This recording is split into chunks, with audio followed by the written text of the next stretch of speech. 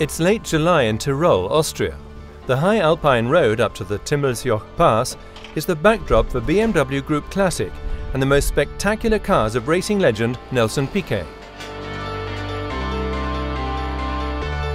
This time around, the driver is his son, Nelson Piquet Jr.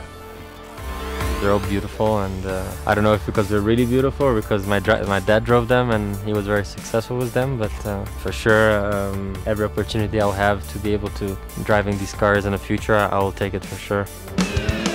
Piquet the younger, himself a racing driver, starts off in his father's M1 Pro car. In 1980, the 470 HP sports car took Piquet Sr. to victory in the BMW M1 Pro Car Championship. Another highlight is the Brabham BT52, in which Nelson Piquet became Formula One World Champion in 1983. Today, his son is in the cockpit of the legendary F1 racer. The BT52 is powered by a BMW turbo engine delivering around 700 HP and takes a lot of skill to drive this car is 10 times harder to drive, you know, I mean, just imagine the gears uh, up and down every lap, not, not having to do any mistakes. Nowadays in Formula One is obviously it's accelerator and brake and up and down, very automatic, so I think it obviously it would extract much more out of the driver those days.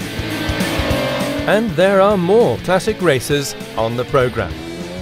Driving legendary cars across the Alps with the roads entirely to yourself is every racing driver's dream.